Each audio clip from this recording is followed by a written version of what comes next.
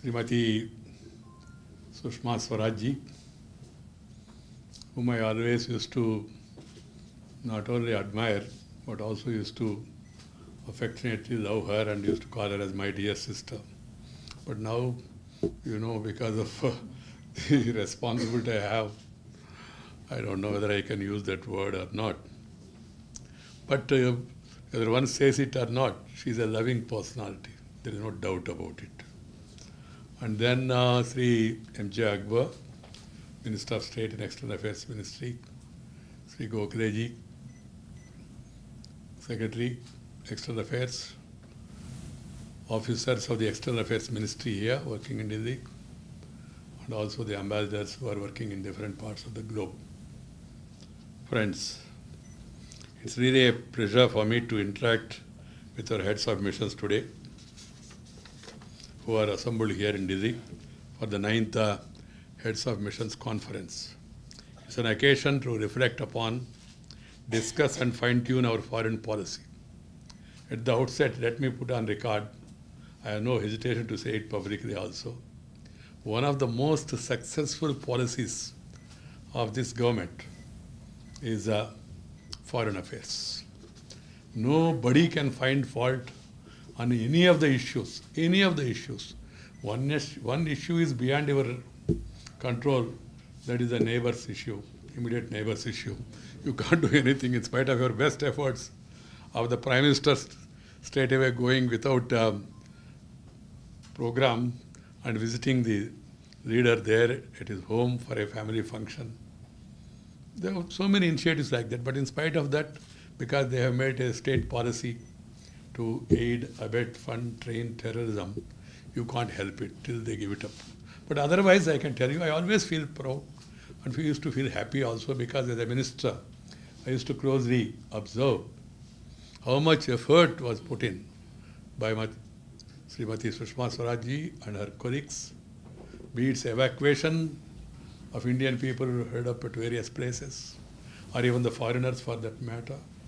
When I read in the newspaper that not only Indians, even the other foreign nationals who were held up at different places, they were all lifted out from there by Indian government initiative. I really felt very happy because India has shown the way.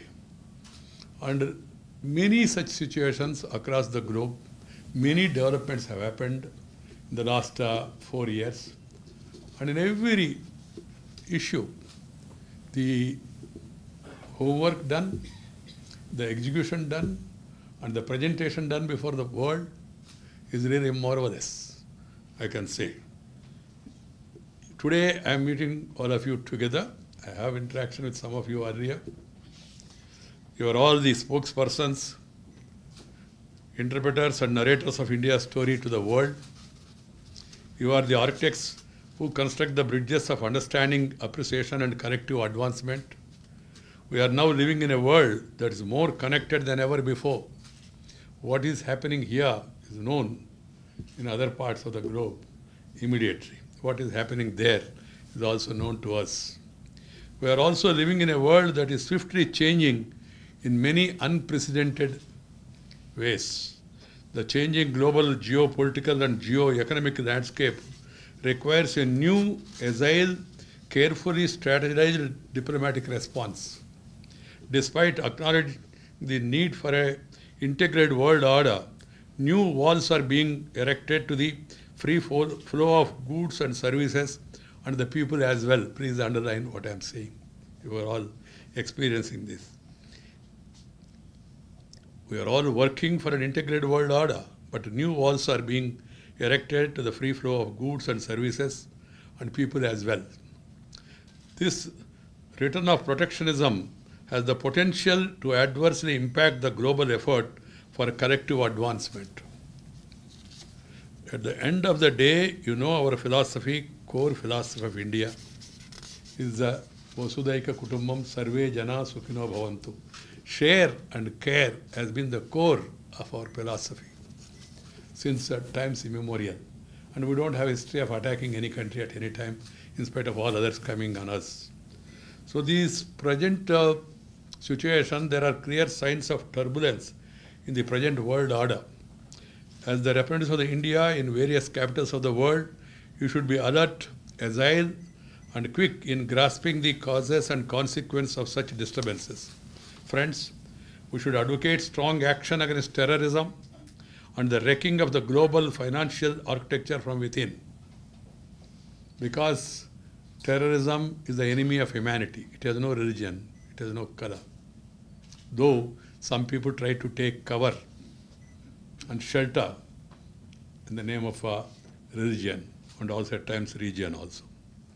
These offenders are a big threat as gun-toting terrorists.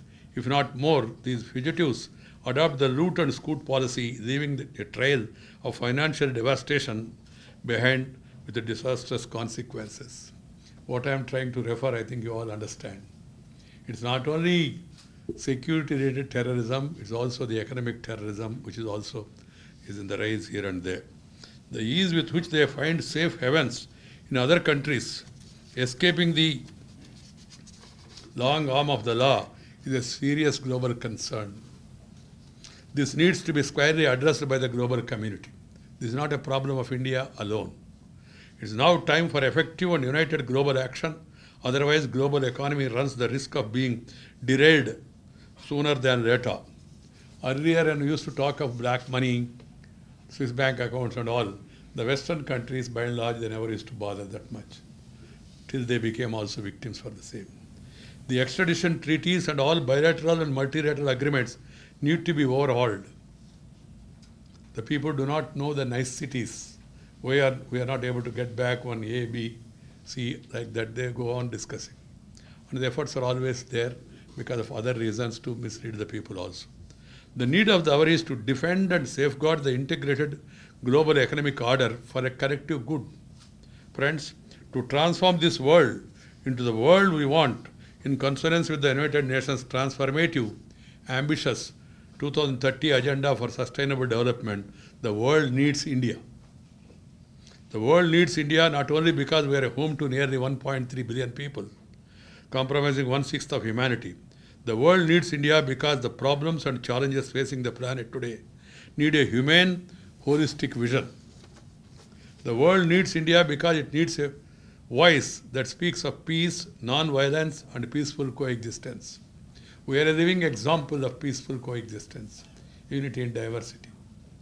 The world needs India because it needs the, to harness the potential of dialogue, discussion, collaboration and cooperation. This vision and voice, this attitude and belief are what India has stood for over the last 20 centuries. This vision and voice of India is more relevant to the world than ever before.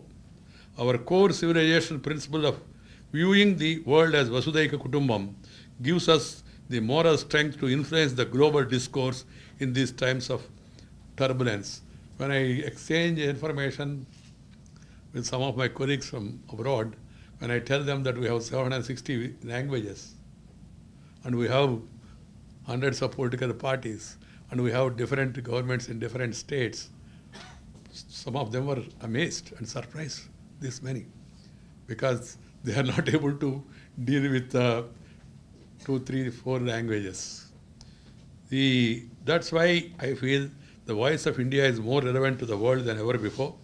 Interna in, internationalization of some of the India's universal values of peace and tolerance, inclusion and cooperation, caring and uh, sharing can make our planet a better place for all to live and grow. I'm happy to see that India has taken the lead in building a sustainable development solutions. International Solar Energy Alliance, launched under the India's initiative at the COP21 in Paris, is one such example. We must continuously look for opportunities to provide similar leadership and lead the global agenda setting and implementation in many fields as possible. Friends, as country's ambassadors, you tell the story of our country to foreign audience. I'm sure you are able to weave the narrative by deftly drawing upon our country's unique cultural treasure and timeless values as well as bring alive the excitement of our current phase of economic growth and transformative momentum in contemporary India. The world is looking towards India now. When I was Minister for Urban Development I used to receive a number of ambassadors, one after another. Everybody was eager to invest in India. Smart cities, Amrut, housing, so many. They were all fascinated by the programs of Swachh Bharat and many such programs. And they all want to invest. And some of them want to take the lead in adopting certain cities to take care of the smart city concept. They were all fascinated by the transformation and new urban renaissance that is taking place in India. As you are aware, it has been our collective endeavor that our foreign policy formulation and implementation must be firmly tied to the domestic development agenda. India has undertaken major initiatives under the leadership of our Prime Minister, Sri Narendra Bhai Modi, that focus on aspects of development such as Make in India, Skill India, Smart Cities, Startup. We have had several notable successes, though there are challenges as well. People are really very much impressed by the transformative agenda of the Prime Minister and of the country.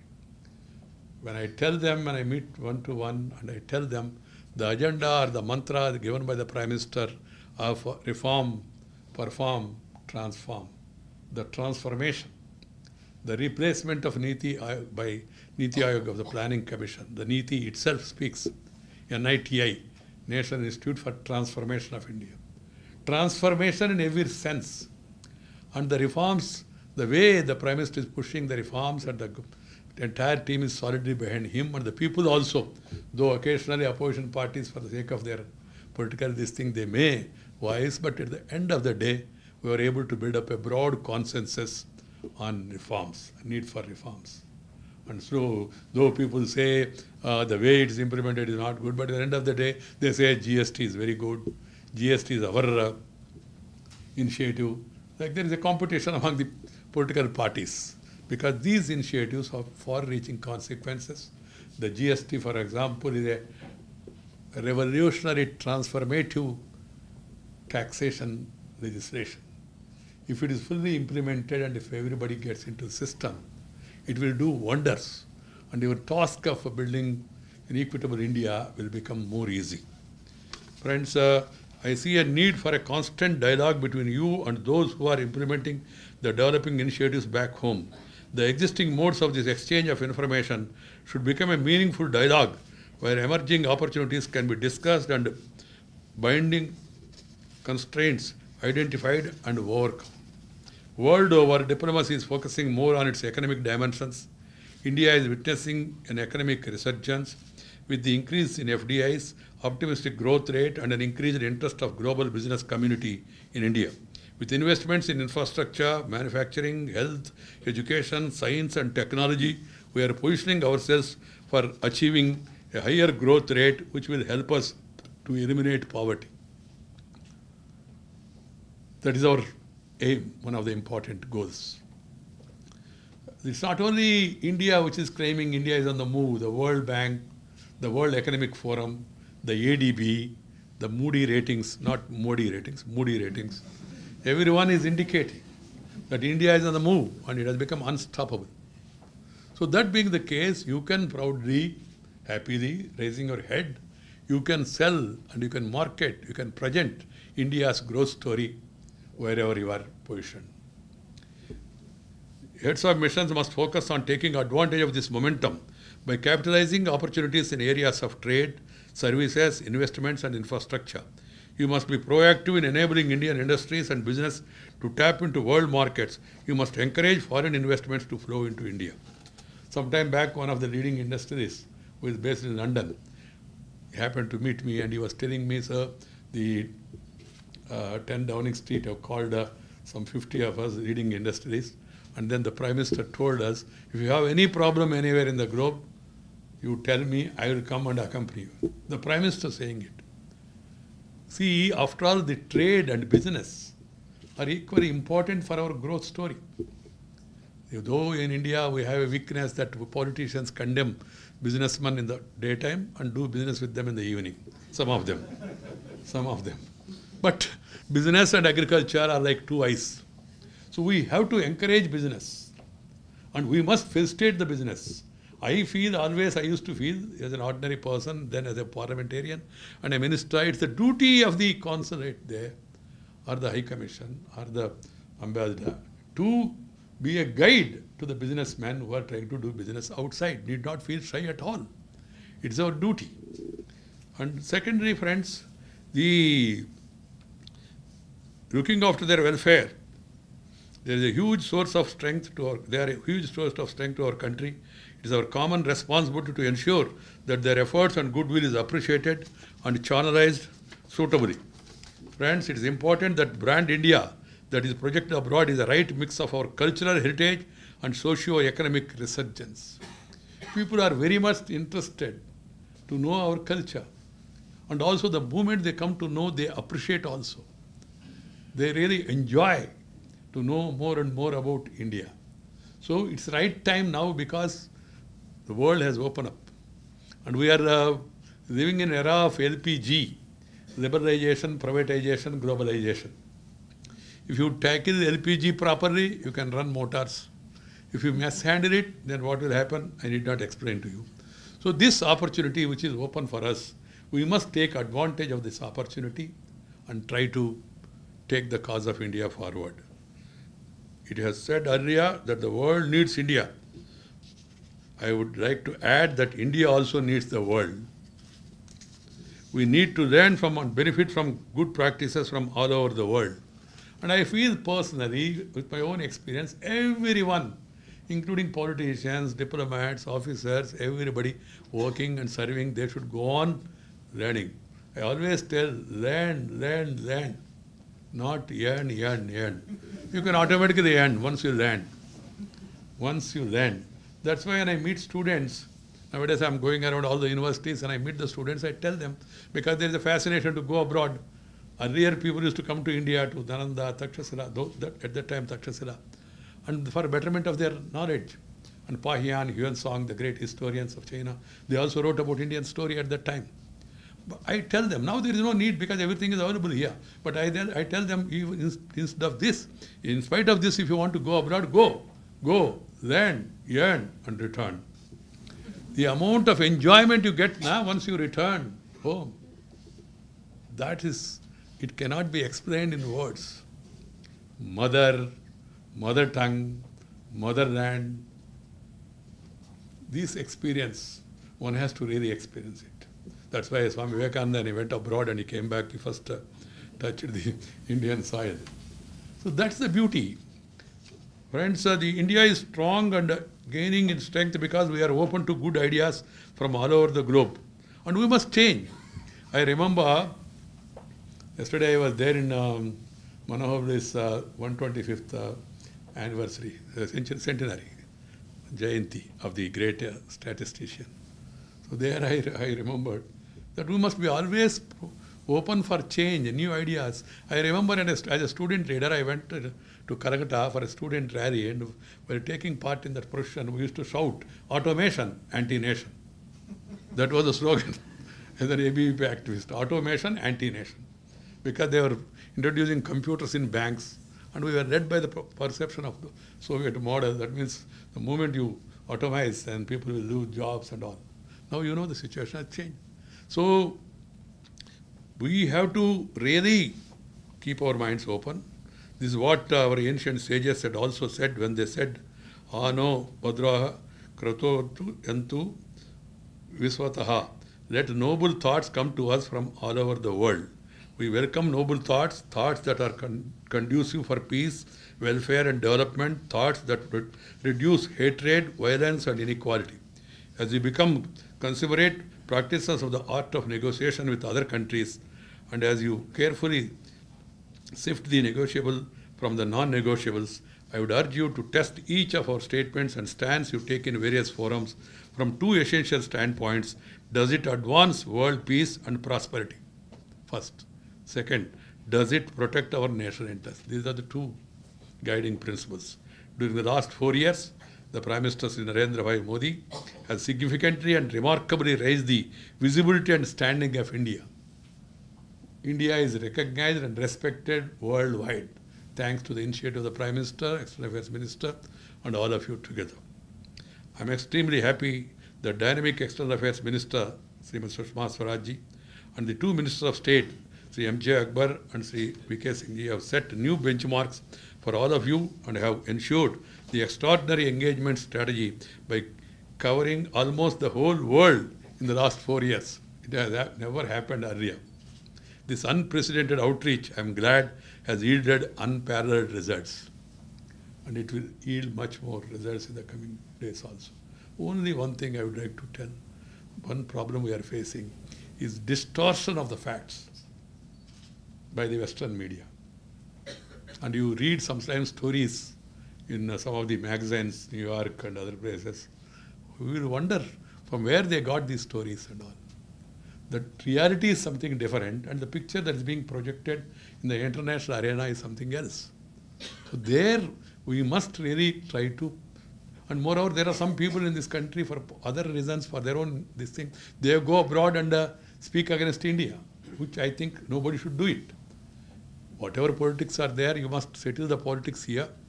But as far the country's interest is concerned, image is concerned, whether it is civil rights, human rights, or whether it is uh, other things that have happened here and there, these things they have to be isolated, identified, and strong action has to be taken by the local authorities concerned. But attributing to the nation and damning the nation. The other day, there is a story that uh, women are the most unsafeable place for women in, is India. really shocking what they're talking. The, the positives has to be explained to the people. The aberrations are the isolated incidents, as I told you, they have to be narrowed down and then condemned. That should be the public discourse. Of course, it much depends on the local political leadership and the local media also, who supply such a masala to those people too. Because there is an amount of envy also outside because of the growth story of India. Okay, that happens. But we should be moving towards peace. Because peace is the precondition for progress. If there is a tension, you cannot have attention towards development. And terror is the enemy of the nation. And the new terrorism of uh, these uh, financial fugitives has to be dealt with very firmly, very deftly, very cleverly. We must negotiate and also this extradition proceedings and all, they have to be simplified for a world order, a better civilization of the world the entire world, I don't know how to articulate, she'll be able to do it in a better manner. On three, four issues. One is about the peace, terror, fighting terror. The world community should speak with one voice. And I don't know why United Nations is taking that much time and going on discussing, discussing and all. They must put an end to discussion, come to some conclusion. There should be an end to this. And then some action. Second one is, this is my personal feeling as a citizen of India and as citizen of the global community. The second one is the menace of uh, black money, parallel economy. That is affecting many of the nations. So how to tackle it? And the third one is you commit something offense here and then you run away, take shelter there. No civilized country should give asylum to such people. So we have to create enough international opinion on this count also. I hope uh, you, you people will be doing it. Uh, as I told you, we are all fortunate to have a very articulative, very well-meaning External Affairs Minister, ably assisted by her deputies. And of course, there is the guidance of the Prime Minister always. And we have a long history and civilization behind you. So let us all work together and take the country forward. Thank, I would like to thank uh, Srimati Sushma Swarajji for providing me this opportunity of meeting you all and greeting you. More than a meeting, what is important is meeting, greeting, and some light eating. Thank you very much. Namaskar.